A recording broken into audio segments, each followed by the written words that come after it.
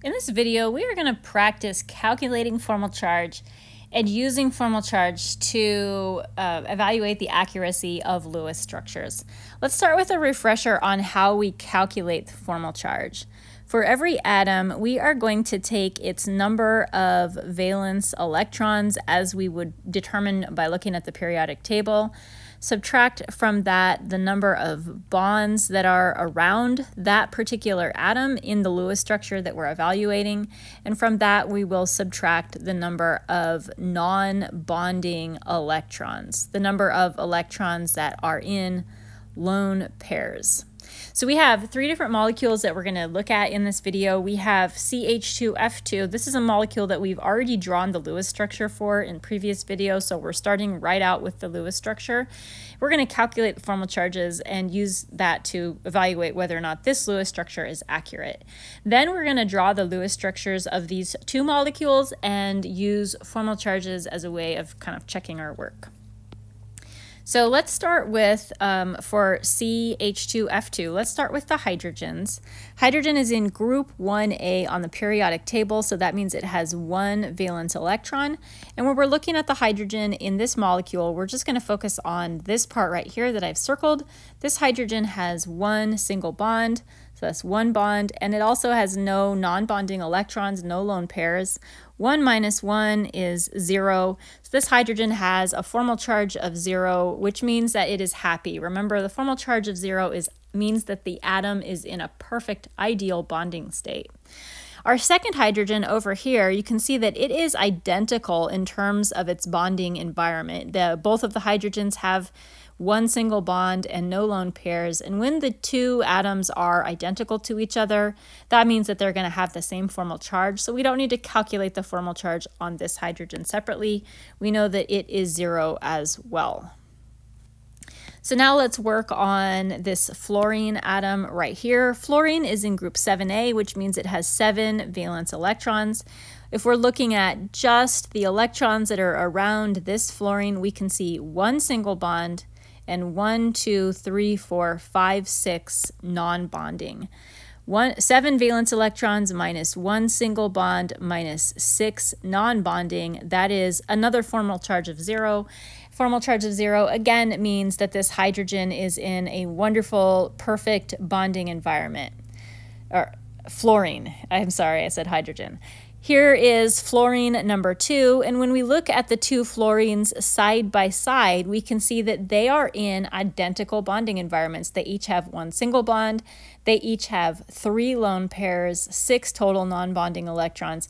So uh, just like with the hydrogens, that means that we know that both of these fluorines have the same formal charge. And last but not least, we've got our carbon atom in the center. Carbon atom is in group 4A, so that means it has four valence electrons. If we're looking at this carbon, what's around this carbon, we can see one, two, three, four bonds and no non-bonding electrons. So 4 minus 4 minus 0 is another formal charge of 0. All five of the atoms in this molecule have a formal charge of 0 all of the formal charges of zero means that the Lewis structure that we drew is correct. Again, our goal is to get our formal charges as close to zero as possible. And in the last video, I also talked about how when we add up the formal charges for all of the atoms, they should equal the charge of the overall molecule. This is a neutral molecule, so all five of these formal charges should add up to zero uh, 0 plus 0 plus 0 plus 0 plus 0 equals 0. So let's move on to this molecule over here. We're going to start by drawing the, the actual Lewis structure for this molecule using our steps, um, not using the Lewis dot symbol, so we're going to practice that. Nitrogen has five valence electrons, and chlorine has um, seven valence electrons. So the total number of valence electrons in the NCl3 molecule is 26. Again, nitrogen, because it is in group 5A on the periodic table, it has five valence electrons. Chlorine is in group 7A, so it has seven, and we have three chlorines, so three times seven, 21 total valence electrons from the chlor chlorines plus five from the nitrogen gives us 26 electrons to work with. We always want to start by putting the central, the first atom in the center of the molecule, the first atom reading from left to right is nitrogen. So nitrogen goes in the middle, and then the chlorines are going to be arranged around the nitrogen. We will connect the outer atoms to the inner atom with a single bond, and that used two, four, six total electrons, which means we have 20 electrons left to work with. We will now turn to the outer electrons and work on giving them an octet by putting non-bonding electrons around them in lone pairs. I got to count how much I'm doing here because I only have 20 electrons to use.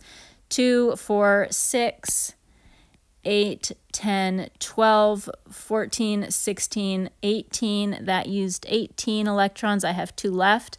And again, what happened there as a refresher, we want to give all of our outer atoms an octet or a set of eight. So they started with one bond, which had two, and then we added six more electrons, which gave them a total of eight. So now that all the outer atoms have their octet, we're going to turn to the inner atom and give it an octet. The inner atom already has two, four, six electrons. It only needs two more, which is exactly how many we have. So we've used all of our electrons and all of our atoms have the octet around them and we feel I feel pretty confident that this structure is accurate, but we're going to use formal charges as a way of double checking. So for the chlorine, chlorine again in group 7 has 7 valence electrons. The chlorine atom has one single bond and one, two, three, four, five, six non-bonding.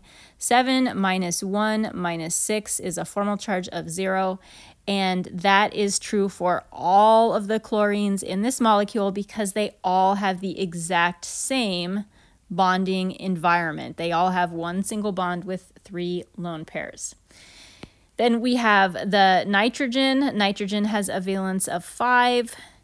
This nitrogen has three single bonds and two non-bonding electrons. 5 minus 3 minus 2 is a 0. There's another formal charge of 0.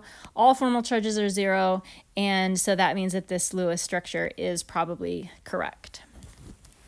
So moving on to our last one, and this is our last example, and we're, again, we're going to draw the Lewis structure for this, and we're going to calculate the formal charges. Now, this molecule um, has a little bit of tricky of a bonding pattern, so I'm going to tell you that from the get-go, that the arrangement of the atoms in this molecule is OCS. So carbon is in the middle with the oxygen and the sulfur outside of it. Let's start by adding up our valence electrons. Oxygen has six, carbon has four, and sulfur has 6. So 4 plus 6 plus 4 gives us a total of 14 valence. Oh, I wrote that backwards. Oxygen has 6, carbon has 4, and sulfur has 6. So that gives us 16 valence electrons to work with. As I said, carbon is in the middle with the oxygen and the sulfur around it, and we'll connect them with single bonds. Those single bonds used two, four electrons. So that gives us 12 left. And now we're going to start by satisfying the octet of our outer atom. So this oxygen currently has two electrons, so it needs six more. That leaves us with six electrons to work with. And this sulfur currently has two, it needs six more, which means that we have used all of our electrons, we have none left. Our central atom, carbon, only has two four electrons around it, which means it needs four more. And we've talked about this before when we were first learning about Lewis structures. The way that we will give this carbon more electrons is by taking a lone pair and turning that lone pair into a double bond. So since we've done that, Double checking our oxygen, we have two, four, six, eight electrons, and carbon has two, four, six, which means it still needs two more. Now here is where we're, we've got like a couple of choices. To give carbon another two electrons, we have two options. We could, I'm going to redraw this Lewis structure. We could take a lone pair from sulfur. So here's our redrawn structure. We could take one of the lone pairs from sulfur and we could make another double bond like that. That would be one option. The other option that we have in this case is to take again from a lone pair from oxygen and make a triple bond. So if we do that, let's just kind of double check our octets. Oxygen has 2, 4, 6, 8. Carbon has 2, 4, 6, 8. Sulfur has 2, 4, 6, 8 in this structure.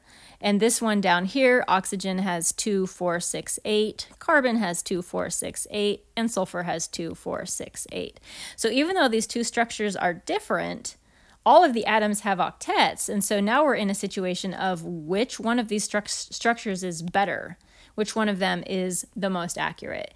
This is where formal charge comes in hand handy because we can calculate the formal charges for all of these atoms and we can use that to help us try to figure out the best structure. So let's start with this one up here. Oxygen has six valence electrons. This particular oxygen has two bonds and four non-bonding electrons. Six minus two minus four is zero. So that looks good. This carbon atom, carbons have four valence electrons. This carbon has four bonds and no lone pairs. So another formal charge of zero. Sulfur also has six valence electrons. This sulfur has two bonds, four lone pairs, and another formal charge, or two bonds, four non-bonding, and another formal charge of zero. Without even doing any calculations down here, this Lewis structure is clearly the best because all of the atoms have formal charges of zero. But let's pretend um, like that we didn't start here and let's, let's calculate the formal charges for this molecule down here. So this oxygen with six valence electrons, three bonds, and two non bonding electrons has a formal charge of plus one. Carbon, four valence electrons, four bonds, no non bonding, so carbon is looking good. Sulfur with six valence electrons, one bond, and six non bonding has a formal charge of negative one.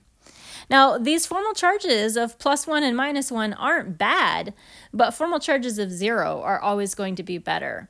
When you are looking at a molecule that has formal charges and you're asking yourself, like, what could I do? Is it possible to make those formal charges go away? I want you to think about the formal charges as sort of reflecting the atom's situation in terms of the number of electrons that are around it. So when oxygen has a positive formal charge, that simply means that it doesn't quite have enough electrons all to itself. And one of the ways that we can give oxygen electrons all to itself, I'm going to kind of draw over here, is the opposite of what we did when we were trying to, um, or I guess the same as what we would do when we are trying to give electrons to another atom. So if we wanted to get rid or deal with the negative formal or the positive formal charge on the oxygen, if we wanted to try to minimize the positive formal charge on that oxygen, one thing that we could do is take a bond and turn it into a lone pair. By taking a bond and turning it into a lone pair, this oxygen now matches an oxygen with a zero formal charge. So we've made this oxygen happy. Likewise, when we see an atom that has a negative formal charge, that means that this um, atom has too much electron. And so to resolve that, what we can do is take a lone pair and turn it into a double bond. So in that way, we are moving electrons away from that atom towards somebody else to help get rid of that formal charge. So this last example gave us an opportunity to see how you can use formal charge to choose when you have multiple possible Lewis structures, and also an opportunity to look at how we can use formal charges as a way of helping us fix a Lewis structure. I have one more formal charge video that has three more uh, examples of drawing Lewis structures and calculating formal charges.